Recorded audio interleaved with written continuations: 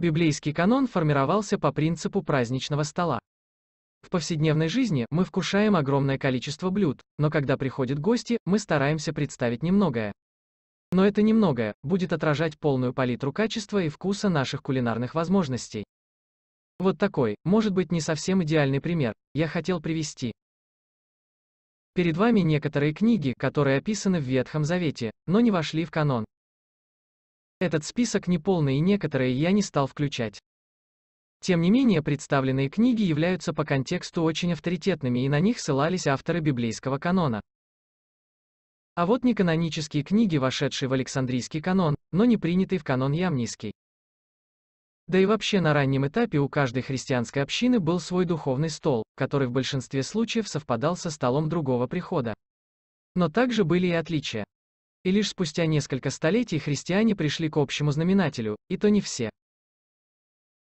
А теперь посмотрим отношение общества сторожевой башни к апокрифам. Одно из основных внешних свидетельств против каноничности апокрифических книг состоит в том, что их никогда не цитировали те, кто участвовал в написании. И эти слова не совсем правдивые, приведу пример. Послание Иуды, 1 глава, 9 стих.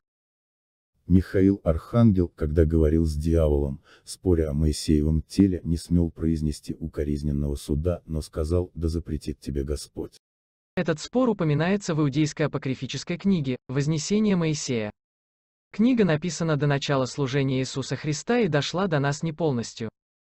Использование апокрифической книги «Вознесение Моисея» представляет интерес как свидетельство отношения Иуды к неканоническим книгам. К сожалению, в данном случае оригинальный текст утерян и у нас нет никакой возможности говорить о степени влияния на Иуду. Но так как Климент и Ориген и Дидом считают, что Иуда ее использовал, то вполне возможно, что он ее цитировал.